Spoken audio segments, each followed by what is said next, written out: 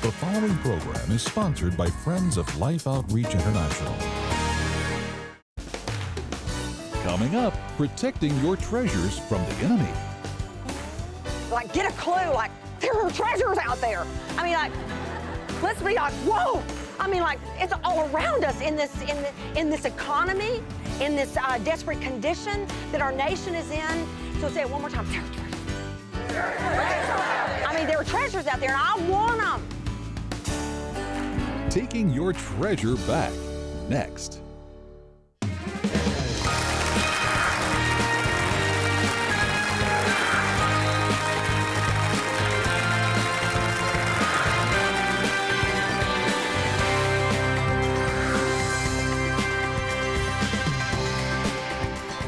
So I can see looking out here in this room that there's a spirit of a family here. Even though y'all may have come from all over the, the place. We're family, you feel it. You knew it the minute I saw family here. You all knew that. You could see the, the love exchange. Well, we're glad all of you are here. And uh, these are really important moments. These are really important moments. So just know that the, the fact you are alive now you may say, well, I guess I'll be alive when Jesus comes. Perhaps. Even, even we might say, like, here's, here's, here's what you can know. You can be very much alive when His glory comes on His church to reveal Himself to the world through His church before He comes for His church. See, that's the longing of the heart of God. That's the longing of God's heart to behold His glory in His church, like on y'all, like on you, sweetheart. His glory. Father, that's my prayer. I long for it. For your glory to be manifest to the world through the church. In Jesus' name. Here's Beth Moore. Welcome, Beth Moore, Wednesdays with Beth.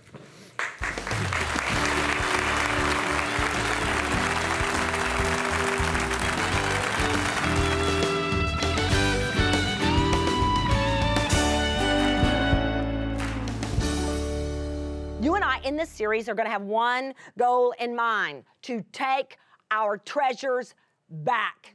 I, I promise you, based on the authority of the Word of God, if you have any history with the Lord Jesus Christ whatsoever, He has invested treasures in you. He has gone out of His way over and over again to give you moments, encounters, insights that were priceless. And you need them back, they're yours. They're yours. And the enemy has come to steal them, and we're going to take them back. Somebody say, I'm taking my treasures back.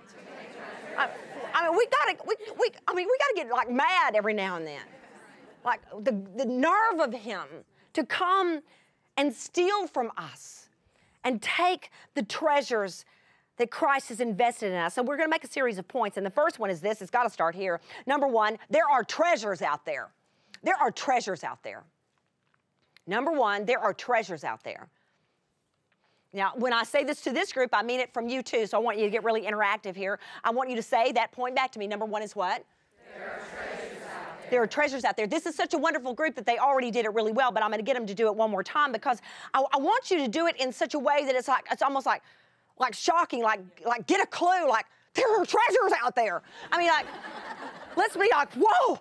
I mean, like it's all around us in this in the, in this economy, in this uh, desperate condition that our nation is in, and all of, of the poverty of the world. What what the Word of God would tell us is that if we know Christ, I mean, like there are treasures out there. So say it one more time. There are treasures out there. There are treasures out there. I mean, there are treasures out there, and I want them. I want the ones that were set aside for me. You want the ones that are set aside for you. I mean, this is this is a dark world.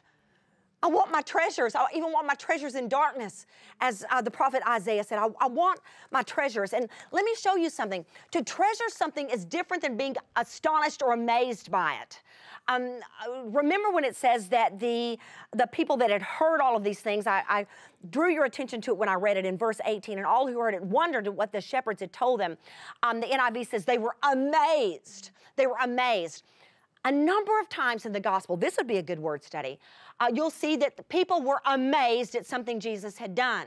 But I, I want to suggest to you amazement and treasuring are two very, very different things. Because amazement, you're, you don't have to be altered by amazement. I mean, you're just having a moment. We love a big, amazing moment. I mean, like, that was awesome. But do we live the same way through the course of the rest of the day? That's what would set it apart. I mean, like, amazing, awesome, but I'm still myself. But I treasure something when I take that amazing thing, that awesome thing, that wonder God has done, and I put it and protect it in my heart and mind. Suddenly now I am altered by it. Does that make sense?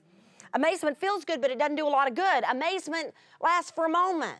But now your treasures, you're meant to have that for the rest of your life.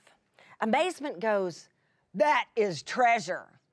Treasure goes, I'm gonna pull that into my heart and mind and hang on to it for dear life. And wouldn't it be the scariest thing if we missed the whole point of something? That's why you want to treasure it because right then you don't get it, but you know it's going to mean something.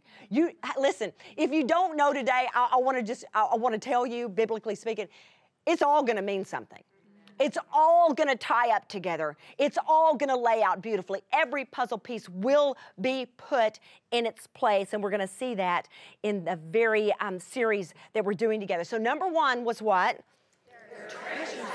There are treasures out there, but number two, this one's important. They're not my treasures until they make it past my defenses. They're not my treasures until they make it past my defenses. Jot that down because that's important. Yes, there are treasures out there, but how do they go from out there to in here? There's got to be a process of the treasure that is out there coming in here, and how's it get there? Well, number two says they're not my treasures until they make it past my defenses. Now, you're in the Gospel of Luke. Go with me, leave something here. Go with me to Matthew chapter 6. Familiar scriptures uh, to some of us. Matthew 6, and I want you to listen to it in context with our present series. Matthew 6, 20 and 21 says this, or I'll start at 19. Do not lay up for yourselves, what's that word? treasures on earth where moth and rust destroy and where thieves break in and steal. But lay up for yourselves what? In heaven, where neither moth nor rust destroys, and where thieves do not break in and steal. For where your treasure is, there your heart will be also. For where your treasure is, there will your heart be also. So whatever you treasure has got to make it into your heart, because that's where it's got to be pondered. So it's not just into our head it's got to make it into our heart. That's why, even though there are treasures out there, they do not become my treasures until they make it past my defenses. They've got to, they've got to come through all the defenses over my heart and make it down inside of it. Now, I want you to think this through because what I want to suggest to you is this what you and I truly treasure in life is never just cerebral, it's also emotional.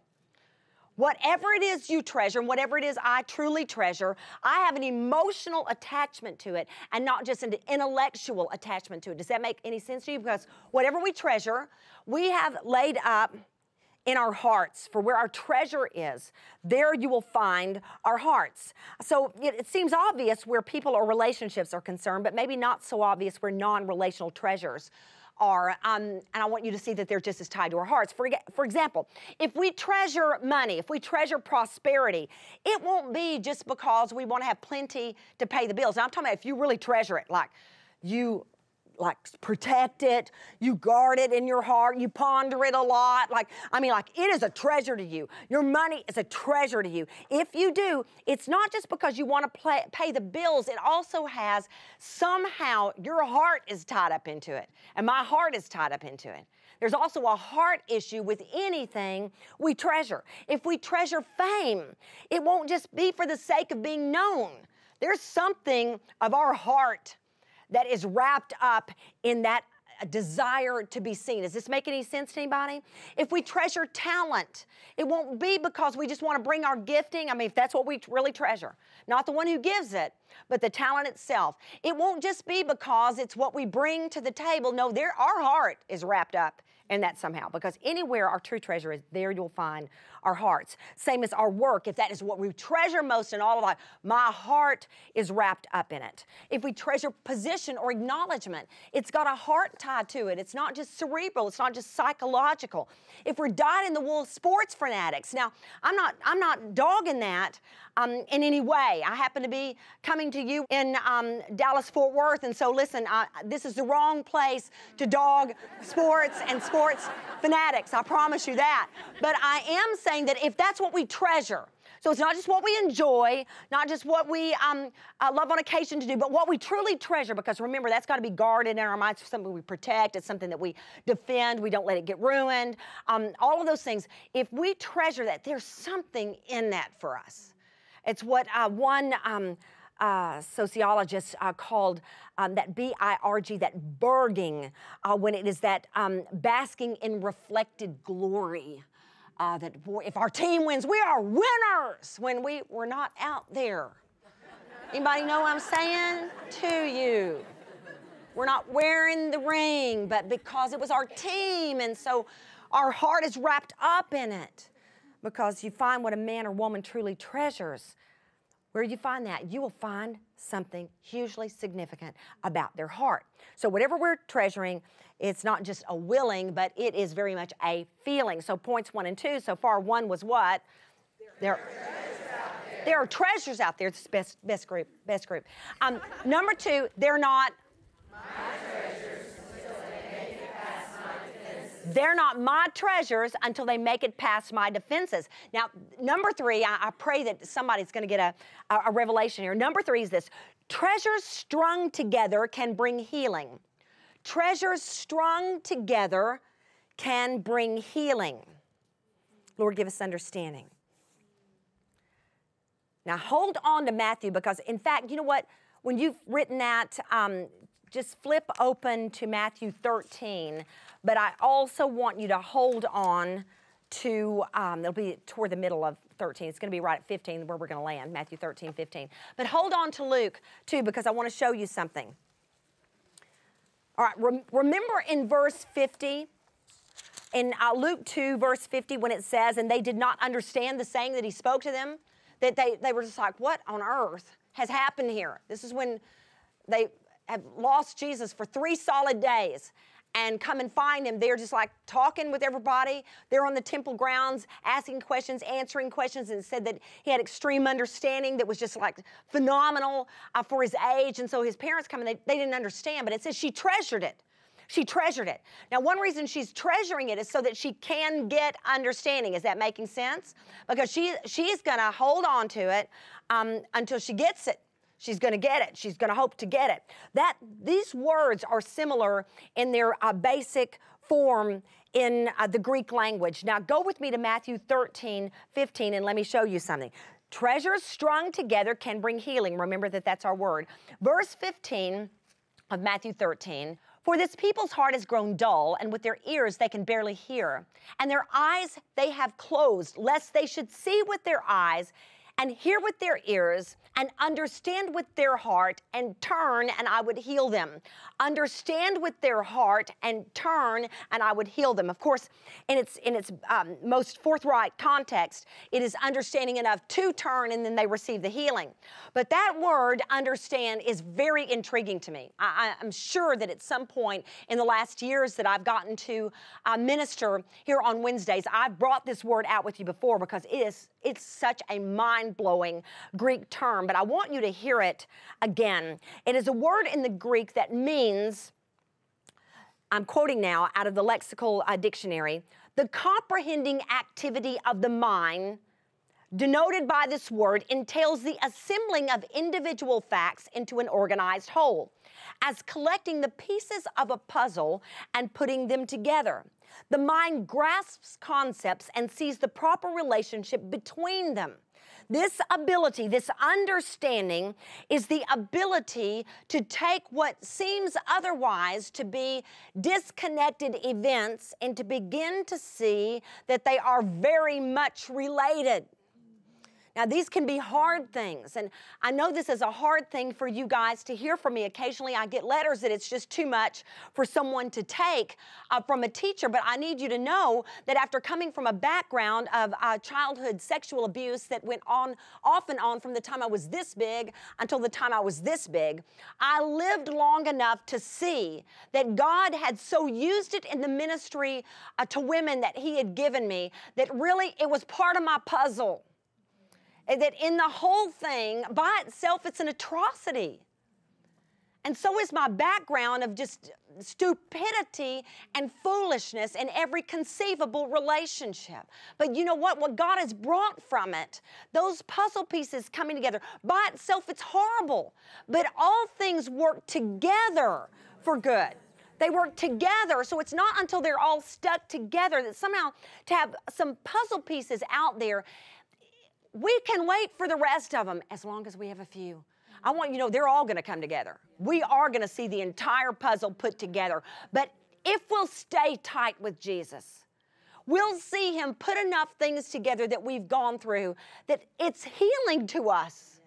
I mean, that's healing to me to have seen some redemption come out of some terrible things in my life. It's been healing to me. This ability to put them together is something we see happening in this beautiful, beautiful uh, picture that's right here in um, Luke chapter 2 because it says that she looked back in, in Luke 2 where we're told then that she pondered them in her heart. She treasured them in verse 19, but Mary treasured up all these things and pondered them in her heart. That, that word pondered is also a really cool word. It's uh, the word, I'm, I'm going to use the lexical term in Greek, sumbalo, sumbalo. Uh, balo means to, to throw or to cast. Sum means together. It is the ability, she sat there and put a bunch of pieces together. Like they, they went back, they were all just like amazed, but she sat there and she treasured up the thing. And don't you know, she reflected on uh, what her life was like when she was betrothed to Joseph. And then the angel of the Lord, Gabriel, comes and visits her. Don't you know that in that moment she's playing back all of this? Maybe how her parents reacted after she told them. No wonder she ran to Elizabeth as fast as she could. All, the journey, all the things that had happened in that moment, she just began pulling them together like jewels that she set on a string.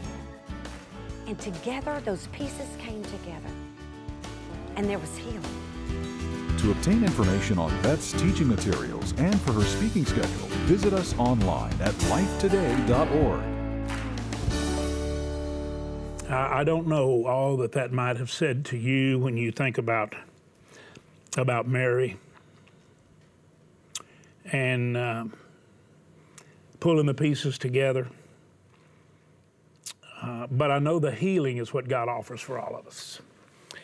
And uh, God, I want it for you, the viewer, to be healed, to be touched, to be pulled together, to be able to pull things together and have it all submitted to your will. In Jesus' name. I don't know a, a, a, truth I could share with you. I don't know a promise I could give you that's any more important than the, the promise of God's blessings on those who notice the overlooked, unnoticed, the least of these, the ones most likely to be overlooked. When you notice them. And when you do something meaningful, the Son of God, God with us, Jesus said, You've done it to me. If you ever want to do anything for Jesus, just find somebody overlooked and do something for them. Now, I want you to look at some people. I don't know how we could overlook them, but let's don't. Let's notice them and let's do something for them as unto the Lord. And we will be doing it for Him. He said so. Watch. I, it's hard to believe I'm sitting, literally sitting in a garbage dump in Central America. And uh, I'm around uh, absolute filth and contamination and disease. And little Maria is, is walking through this every day with these little bare feet. They can get diseases They've got what is known as hookworms that get in their feet when they just walk in dirt or sand, and then it gets in their little intestines, causes serious problems. We're going to give children all over the world shoes. When I say we, that's all of us together. We want to be able to help these children. They're so worth it. You know, if it was our children, we would want someone to reach out to them. So please join with us and let's make that difference. Let's put some shoes on their feet and let's bless these precious little children. Little Maria has never known that. I'm pleading with you this day that you would find it in your heart to remember God's heart for the poor. And I pray this Christmas that you would bring that joy to her heart. That's what I'd love to see. We're going to get you some shoes, honey. You sweet thing. Well, I'll tell you, I, I uh, I've been many times just in the same place that she was sitting, where I had those same emotions, and uh, I don't think any of us can bear to look at pain if we don't think we could alleviate it. Anytime we see pain, even if it's a disease or a battle, we something springs up inside of us, a hope for for a cure. Well, for these little children, Betty, there's a there's a cure for those diseases. Uh, there's a, a solution for the discomfort. And these really are, these are quite amazing shoes. I don't know if any of you have ever worn the popular shoes, the Crocs, they call them. This is, this is just about the exact same thing, and those last for such a long time. This is going to last a long time. It's even, this one's adjustable as children grow, where they can wear it for a long time. And Betty, this is something that all of our viewers can do. When you think about $3.60, and by the way, you buy one of those kind of shoes around here, you're going to pay a lot of money for it. I could put a whole lot of shoes out. But but you got thirty six dollars, and we got ten children some shoes, and uh, you you multiply that out and, and uh, seventy two dollars, and you've got twenty kids shoes. And I, I think that our viewers want to do this. I do too, James. And it's not just about the shoes themselves, but it's so much more because these children get all the cuts and the bruises. You saw where they walk, where they have to climb over and stuff, they, the trash that they walk through. There's no doubt that sometime or other their foot's going to get cut and then the infection's allowed to grow and then it goes over their whole body. So it's so much more than just putting something on their feet. It's a protection, it's a health protection. So I hope you will join with us and let's do this for the children. And we have coupled with the uh, Christmas shoes what we also call Christmas smiles.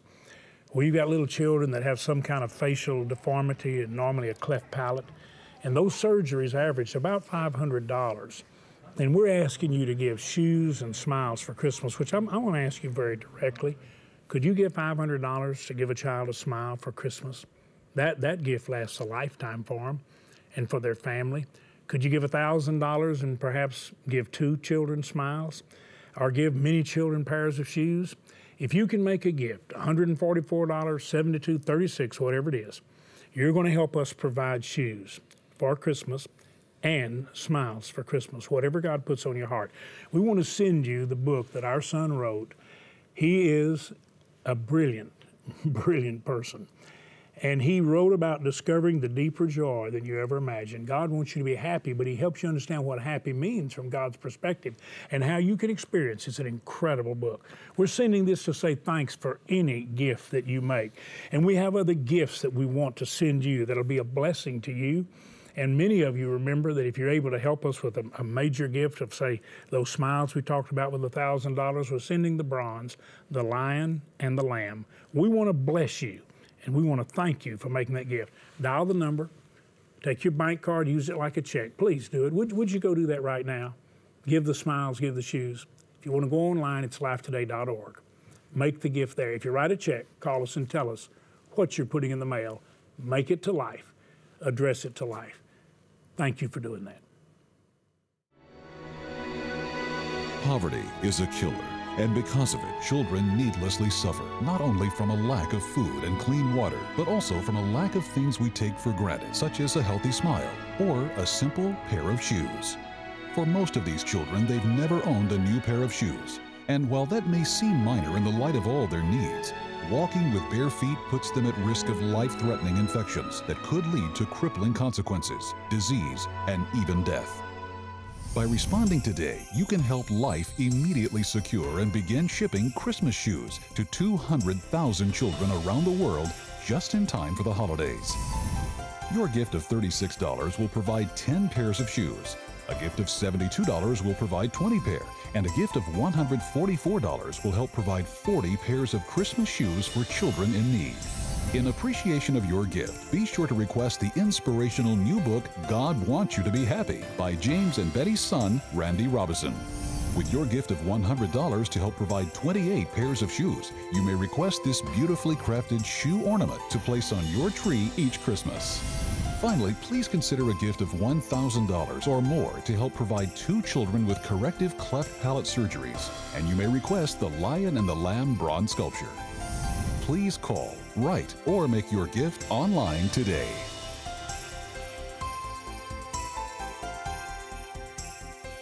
I hope and I pray on some tiny little feet and some bigger feet, you'll put some shoes. And with all my heart, I'm praying there's several people that'll give $1,000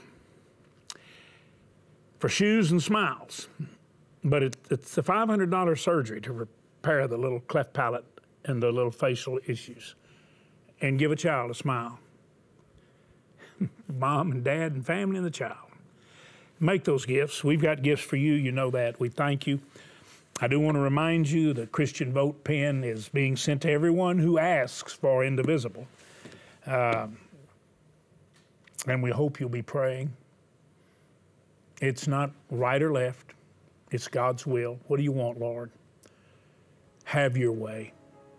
Use me to express what perhaps is in your heart. Let's vote. God bless all of you. Thank you for being here.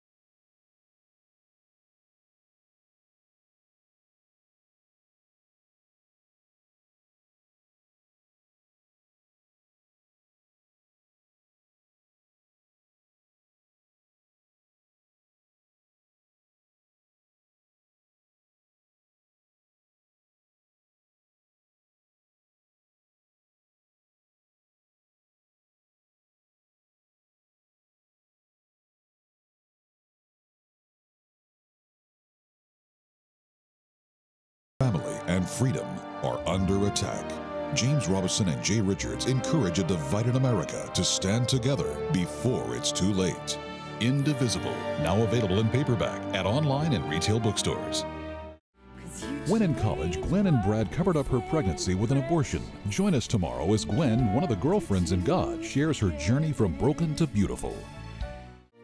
Life Today is made possible by the supporters of Life Outreach International. Your gift will be used exclusively for the exempt purposes of life. The ministry features specific outreaches as examples of the programs it supports and conducts. Gifts are considered to be without restriction as to use unless explicitly stipulated by the donor. The ministry is a member of the ECFA.